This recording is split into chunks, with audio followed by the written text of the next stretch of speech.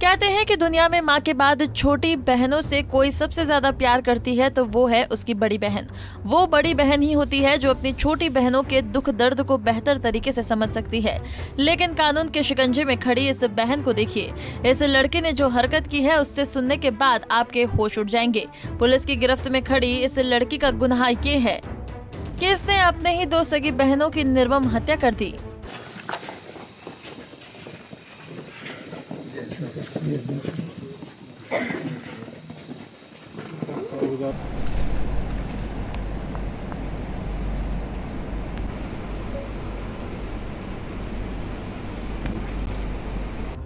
अब आपको पूरी कहानी बताते हैं। दरअसल, यूपी के इटावा में दो मासूम बहनों की हत्या कर दी गई। दोनों की लाश घर के अंदर खून से लथपथ मिली थी। लेकिन पुलिस ने इस जघन्य हत्याकांड का महज 24 घंटे के अंदर खुलासा कर दिया।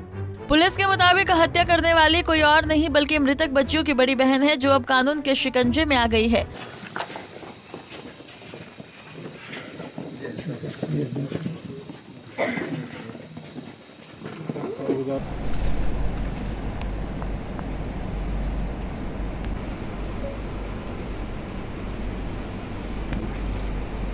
पुलिस की माने तो दो मासूम बहनों की हत्या की वारदात को उसकी ही बड़ी बहन ने अंजाम दिया है। हत्यारोपी की उम्र 19 साल की है। हत्यारोपी की निशानदेही पर हत्या में इस्तेमाल फावड़ा भी बरामद कर लिया गया है।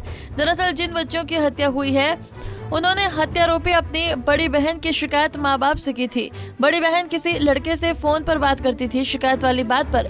गुस्से में उसने वारदात को अंजाम दे डाला। फ़िलहाल बड़ी बहन को गिरफ़्तार करके जेल भेज दिया गया है।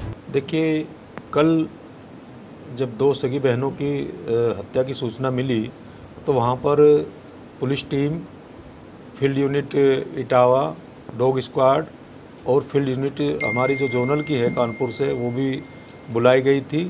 सभी ने एक एक प्रदर्श उस देखा और प्रथम दृष्टया जब वहाँ पर हम पहुँचे तो वहाँ कपड़े सुखाए गए थे। ऐसा लग रहा था कि तभी कपड़े धोए गए और वो सुखाए गए थे। तो और वहाँ पर एक फावड़ा मिला फावड़े के कुछ हिस्से पर ब्लड लगा हुआ था, बाकी वो भी धोया हुआ था।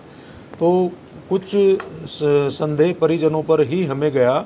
इसके बाद डॉग स्क्वाड और कुछ बेंजाडिन टेस्ट के लिए गए और बाकी चीज़ों से पूछताछ की गई वहाँ से वहाँ के ग्रामीणों से।